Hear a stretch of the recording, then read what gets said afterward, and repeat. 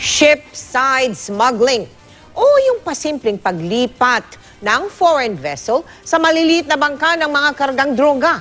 Yan daw ang istilong ginamit ng mga suspect para maipuslit ang halos 2 bilyong pisong halaga ng shabu sa Cavite.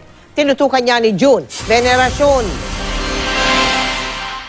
Gamit ang drone, masusing pinag-aralan ng PIDEA ang bodega na ito sa Tanza, Cavite bago nagkasa ng raid. Pinag-aralan ang mga pasukan at labasan. Kahapon ng hapon, ni-raid ang bodega bilang bahagi ng bypass operation. 274 kilos ng shabu na nagkakahalaga ng halos 1.9 billion pesos ang nakitang nakatago sa loob ng bodega. Patay sa operasyon ang dalawang Chinese national na mga miyembro umano ng isang international drug syndicate. Hindi lang maliliit ang napapatay sa anti-drug operation.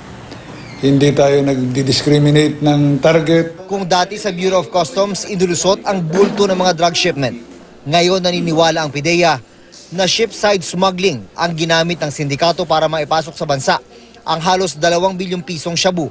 Ang shipside smuggling, ah, nangyayari ito may foreign vessel. Pag nasa ISIS na, dumidikit naman ngayon yung maliliit na mga bangka at ah, sinasalo nila yung droga dyan and dadalhin sa pangpang. Labing isang buwan isinadalim ng PIDEA sa intelligence surveillance ang dalawang napatay na Chino at kanilang grupo.